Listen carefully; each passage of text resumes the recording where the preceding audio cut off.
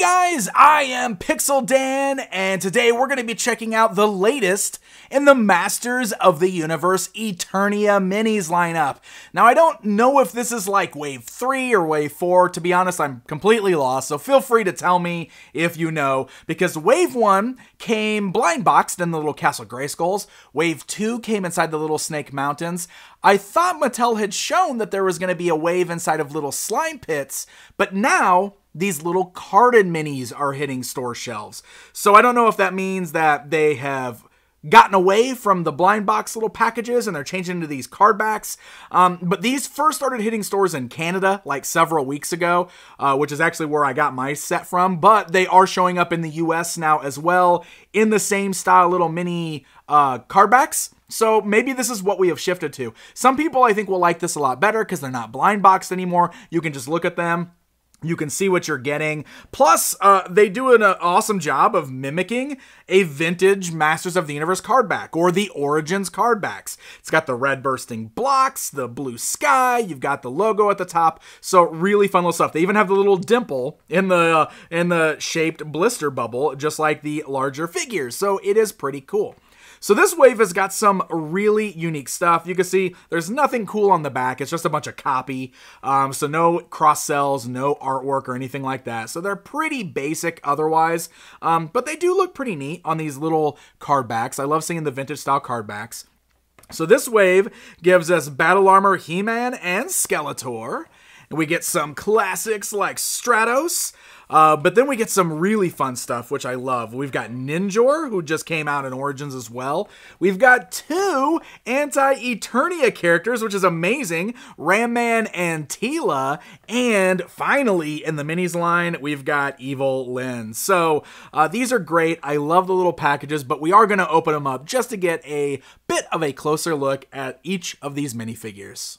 All right, hey, we got our Eternia minis outside of the packaging, and we're gonna get a closer look at this particular wave here. But just in case you are not familiar with these, I'll bring in the tape measure to show you guys. They stand right around the two inch mark, and uh, they do feature some minimal articulation. Uh, basically, the heads can are on a little ball joint. So they can kind of turn left and right. They can kind of go up and down. You can move the arms up and down, and you can swivel the way side to side. Uh, they're in this fun, like super deformed design. Uh, they got the short little stubby legs, but as you can see, they all stand up really good. I knocked over Stratos here. He's actually the one that's got like the big heavy backpack, so he's probably the one that's got the most trouble standing, but hey, as you can see, I've got him standing up there. So this is a fun assortment with some new characters here. Um, as I just knock everybody over here, let's just go ahead and pull all these guys out of the way. We'll start with He-Man and Skeletor in this particular wave, because we've got our battle armor versions you know, these are like iconic classic versions of He Man and Skeletor. Of course, they don't actually have the action feature. There's no action features on these. But I do love the nice shine of the silver that is on He Man's uh, armor there. All of the paint looks nice and clean on this guy, actually. And that silver really is uh, quite shiny on there. I think it looks really good. It's not like vac metal shiny, but it still looks really, really nice. I do have a little bit of a paint slop on his face. I don't know if you guys can actually see that, but it looks like some of the yellow from his hair got on his chin. Uh, so that's a bit of a bummer, but otherwise he looks pretty good. And you'll see he's actually got two accessories. We have the Sword of Power and the Battle Axe, and both weapons are removable. I love that he's got the battle axe because for me, I don't know, battle armor He-Man and the battle axe always just go so well together. Uh, but of course, we do have the sword of power as well, so like we can just have He-Man double wielding weapons there.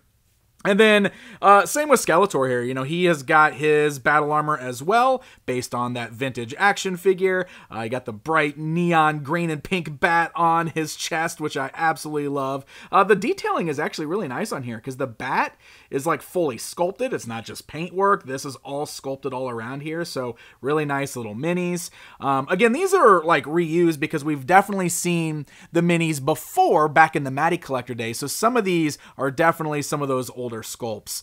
Um, but you know, the paint is pretty good on these guys. Uh, really nice all the way around. This one looks really good and clean. And again, two accessories in the form of the purple sword as well as the Havoc staff. So Skeletor's got both of his appropriate weapons there. Evil-Lyn is a really nice inclusion. We haven't really had any ladies in this line yet. I know that there is another wave that's got Teela, the regular Teela as well, but uh, this is the Evil-Lyn. I love the designs of the females. I think they look great in this line. Of course, they're a little more slimmed down, but they the heads also look bigger on them. But you know, they got kind of got those same super deformed portions proportions going on there. And Evil-Lyn does come with her wand, which actually does have a pretty long handle. It's not quite like a staff, it is more like a wand, like the vintage figure. Articulation functions the same, just at the waist and the arms and the head.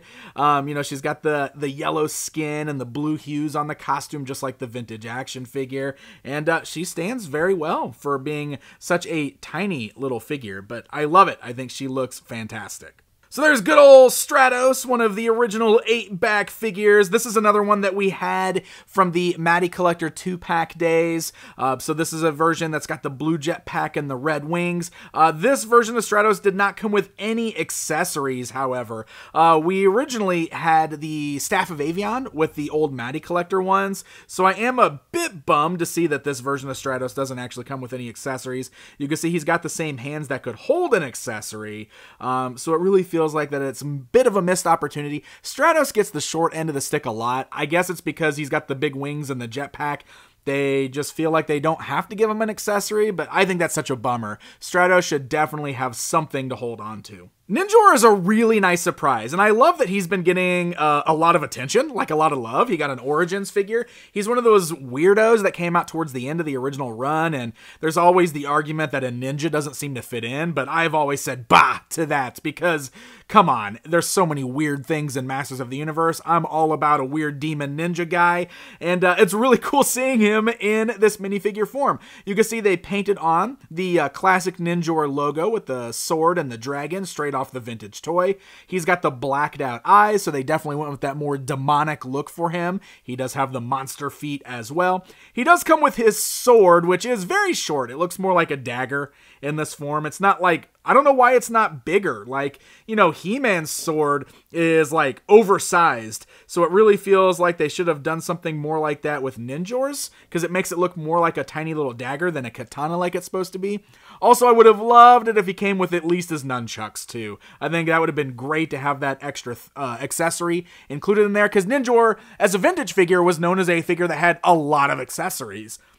So we got him cut down to just one with this, but at least he's got one, unlike Stratos. Uh, he's a bit unique too because, you know, he's got a fully new body there. I mean, honestly, they're doing that with all these guys. It's not like these are all shared parts, uh, but it's still cool seeing like a different kind of tunic look on the torso there. So love it. I love having this guy. And if Ninjor wasn't enough red and black for you, well, we've got two Anti Eternia characters. If you are not familiar with the Anti Eternia characters, like Anti Eternia He Man comes from the old German audio plays, and he's sort of just become this iconic fan favorite. So we've got all these anti-Eternia versions of various Masters characters. Um, so I know that there's another wave, and I think I mentioned the wave that's supposed to have the slime pit containers. It looks like those were changed to carded ones, and that wave has got an anti-Eternia He-Man and Man-at-Arms in it, and I don't have that wave in hand yet.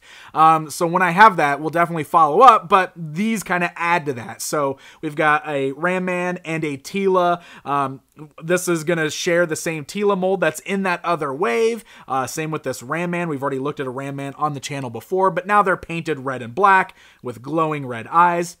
Um, they're very cool. They're very fun. Uh, you know, kind of a, a bit obscure, you know, a little unique. Not, I, I don't think everybody's really going to know what these even are or where they come from, but I think it's fun that they're including things like this in the line. And if you get that Anti Eternia He Man and Man at Arms, you can have yourself a whole Anti Eternia army. It's pretty cool. So there you go. That's my look at the Wave 4? Three. I don't know. I've lost count of the waves. You guys can tell me. But this particular wave of the Eternia minis action figures, uh, super fun. I think these are great. I'm enjoying collecting these. I know there's so many different form factors out there for Masters of the Universe right now. It is getting a bit hard to keep up with all of it. But um, these are fun and unique and they're different. And that does appeal to me. So I do have to give a very special thanks to my buddy Jabroni Skeletor over on Instagram because uh, these hit Canada first, and he actually picked these up for me um, and shipped them down. So I really appreciate that. But I know that these are also hitting US stores right now. I think folks are finding these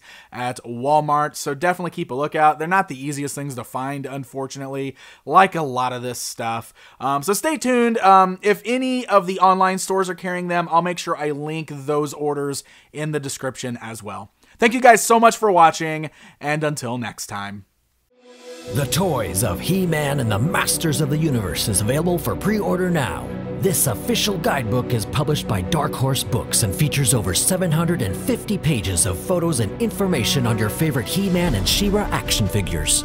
And don't miss out on the exclusive bundle pack available for pre-order now from PowerCon. This bundle includes the official guide as well as an exclusive character guide supplement that you won't be able to buy anywhere else. Don't miss out. You have the power.